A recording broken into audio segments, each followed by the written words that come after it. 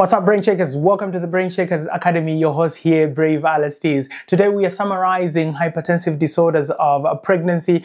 We have done a couple of videos on hypertensive disorders, what they are, their classification, the pathophysiology, how we can diagnose them, and some of those investigations that we do carry out, and some of the drugs as well that we use in the management of these hypertensive disorders. But one more last drug that we're going to be looking at is an important drug in the management of convulsions and the prevention of convulsions, and this is no other than magnesium sulfate. But what is magnesium sulfate? We already know from the videos that we have already done that magnesium is a cation and it is the second most plentiful cation in intracellular fluids, and it does play key role in neurochemical transmission as well as muscle sensitivity. And that is why in most cases you'll find that it is administered in cases of tetany, in cases of severe preeclampsia and eclampsia, and now there has been a rise in its use in cases of nephritis, especially in children. But let's get into today's session and understand the role of magnesium sulfate in the management of severe preeclampsia and eclampsia. And if you have missed any of those videos, head on to our YouTube channel, which is the Brain Shakers Academy, and you will find those videos there and you will appreciate what is in them. So for today, let's quickly see what magnesium sulfate is. And we already know and we have already made mention that magnesium sulfate is going to play a key role in muscle sensitivity and a neurochemical uh, transmission. And we'll look at its mode of action. So what does it do? When magnesium sulfate has then been administered within the muscle cells there are receptors. And one of the receptors that we have already made mention is a receptor that we call the DHP receptor. This is the dihydropyridine receptor. Now the dihydropyridine receptor is what allows the movement of calcium into cells. Now, calcium is needed for the contraction of the muscle cells, that is for the movement of the actin and the myosin closer to each other, you need the calcium. And when you have administered the magnesium sulfate, all it is going to come in and do is block this dihydropyridine receptor so that there is no movement of calcium into the cell. Because when there is movement of calcium into the cell, it means that there's going to be now generation of what we call an action potential. And it is this action potential that will either be uh, coupled or will be exacerbated because of the continuous influx of calcium and therefore you will be having more contractions or you get into a state now of tetany. And that is why we can give magnesium sulfate into uh, cases of tetany or in the management of tetany. Why? Because it is going to control or regulate the movement of calcium into the cells and then prevent the continuous contractions of those muscle cells. So, magnesium sulfate in most cases comes in different presentations, but the commonest presentation in which magnesium sulfate will come in is a 50% concentration. But when you are administering this magnesium sulfate, you need to reduce the concentration from 50% concentration to 20% concentration. From place to place, it differs on how you can administer the magnesium sulfate, but I'll look at two most common ways in which you can administer the magnesium sulfate. But the principle is the same. You're going to have what we call a loading dose, and then you will have a maintenance dose. So the principle is still the same. You first give a loading dose, then you come to the maintenance dose. Now, before we even get to the loading dose and the maintenance dose, we need to know what formula to use for us to actually come up with the desired amount to then give. Now, in the first instance, magnesium sulfate can be given as loading dose can be given as 4 grams IV and then the maintenance dose here will be given as 1 gram per hour. That is following the principle of continuing the administration of magnesium sulfate for 24 hours after delivery or after the last convulsion, whichever occurs last. So it means that if a woman does deliver here and then later on has a convulsion, you start counting from here and then you continue another 24 hours administering the magnesium sulfate. So this will be given as a loading dose 4 grams intravenously. This will be a 20% concentration and not a 50% concentration. And then you have a maintenance dose here which will be given at 1 gram per hour, which is also a 20% concentration. And you will continue administering this through a syringe driver. It's an infusion that you are given. So you'll be giving it through a syringe driver and then you continue for the next 24 hours from the last uh, occurrence, whether it is a delivery or it is a last convulsion. So that is one way in which you can administer this magnesium sulfate. There is another way in which you can administer the magnesium sulfate. So in another way you can administer, the loading dose is going to be 14 grams of magnesium sulfate and then the maintenance dose. So this is type 1 and this is the uh, way 2. Then the maintenance dose here is going to be 5 grams of magnesium sulfate every 4 hours. Okay, this one is going to be administered IM, this one is going to be administered IV and IM. So we'll come and look at uh, those uh, two methods on how magnesium sulfate is going to be administered so that it is not confusing. But now let us reduce the uh, concentration of magnesium sulfate from a 50% concentration to a 20% concentration. So the formula is what do you have and what do you want? So what we have here is that we have an available concentration here.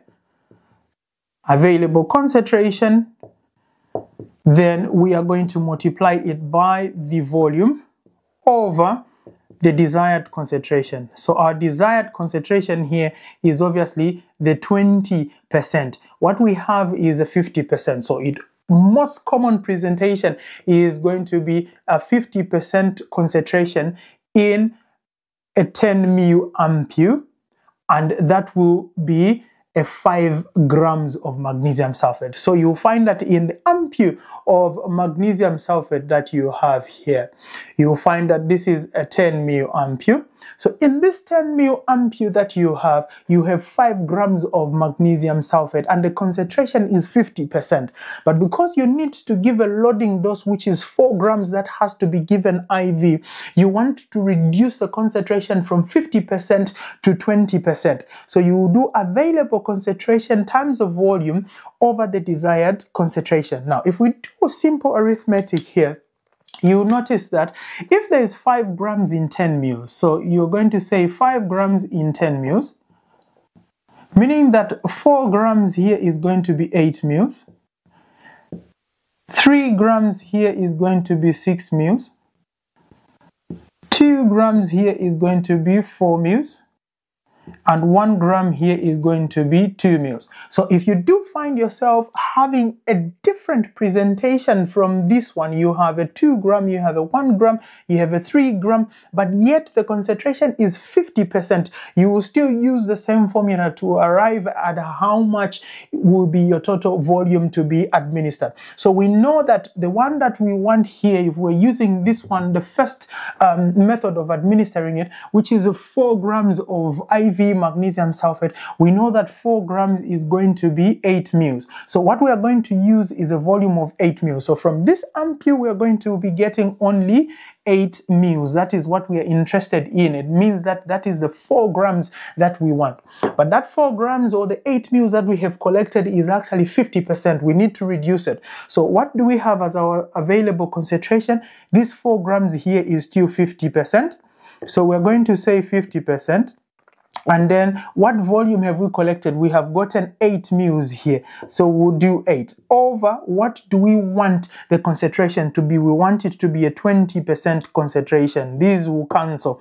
If you multiply 50 by 8, it should give you 400 and then 400 divided by the 20 you cancel that out. This is going to give you 2 in here 1 2 into 40 it will give you 20 so your total volume now is going to be 20 mils. So you are going to be administering 20 mils intravenously because you would have reduced the percentage from a 50% concentration to a 20% concentration. Now how do we know how much of this is actually our drug. We already have our volume here, which is 8 mils. So all we are going to do is from the 8 mils, from the 20 mils total volume, we're going to say minus the 8 mils that we already have, and then we end up with the 12 mils. This is where the 12 mils that we add to the 4 grams of magnesium sulfate 50% comes from to come up with the 20 mils as our total volume to administer intravenously. And this is what we're going to be giving